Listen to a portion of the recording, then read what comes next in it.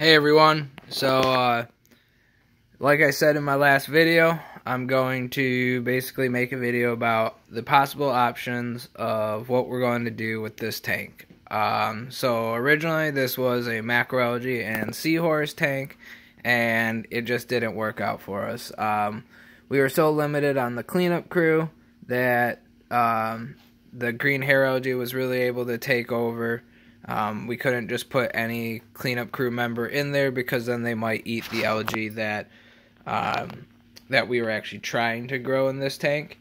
Um, so uh, a little background is this 60 gallon cube is tied into my 240 through a 75 gallon sump, and we or I'm I'm done with uh, all the green hair algae in this tank.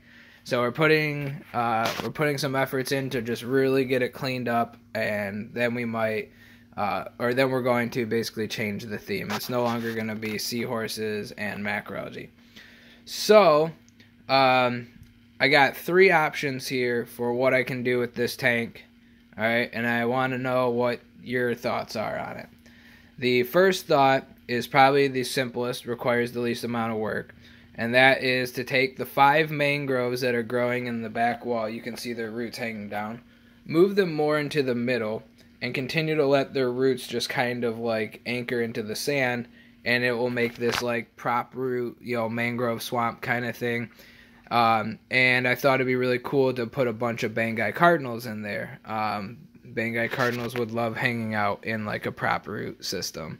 So, um, thought that would be cool. It wouldn't be too expensive, you know, just basically buy a handful of Banggai Cardinals and call it a day. And then throw a whole bunch of, you know, classic cleanup uh, crew members. Um, you know, turbo snails.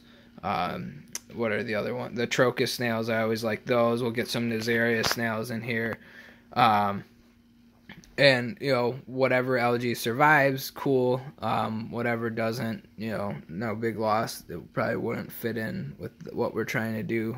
Um, but so yeah basically it's a prop root system with Banggai cardinals is option number one. Option number two would pr- it's probably my favorite um, but it's probably the most amount of tr- uh, change in this tank. And that is uh, an aggressive anemone, aggressive fish tank. And I know we'd be limited by the size of the tank on what fish we get, but I think there are some cool aggressive fish that would go well in this, you know, in an aggressive anemone tank of this size.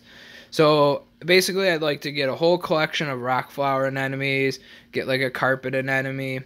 um, and we can put some like maroon clownfish, maybe some of those lightning maroon clownfish in there, and like a neon dotty back.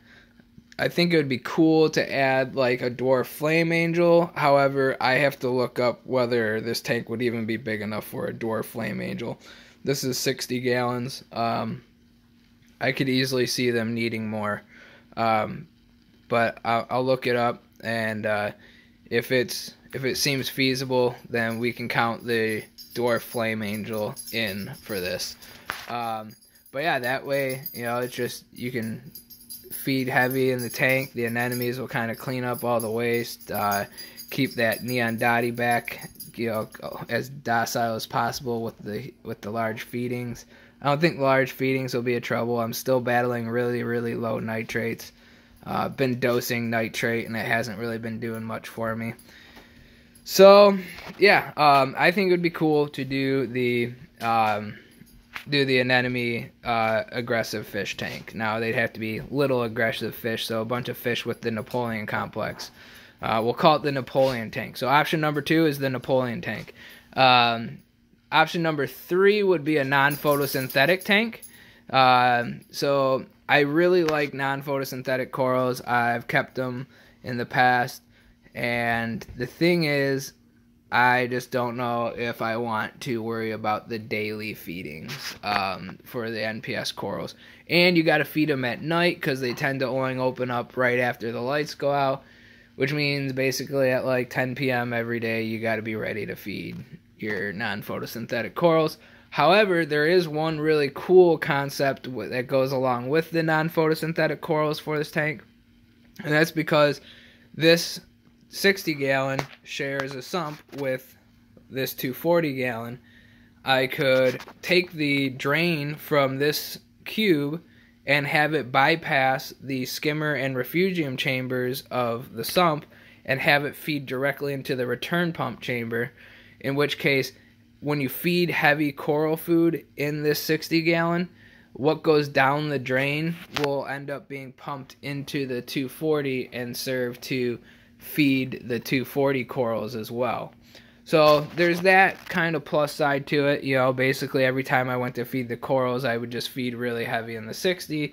The NPS corals would get to eat, and then there whatever doesn't get eaten will get put into the 240, a much bigger system, and it will be hopefully the equivalent of just a regular feeding for a 240 gallon tank.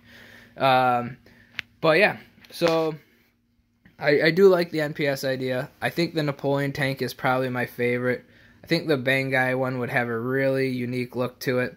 So basically, I want to hear your thoughts on it. And uh, also, option four is viewer's choice. So let me know if you can come up with a cool theme for this tank, uh, something I haven't mentioned. Uh, just keep in mind that uh, we're trying to keep most of the equipment the same and um, it is tied into a 240 gallon tank that is a typical reef system and that's not going to change. I don't have room to add another sump to this. So um, so yeah let me know what your thoughts are. Uh, thanks for watching. Hit subscribe you know stay updated with this transition and you know what's going on with the whole build as a whole. Um, you know and yeah so thanks for watching everybody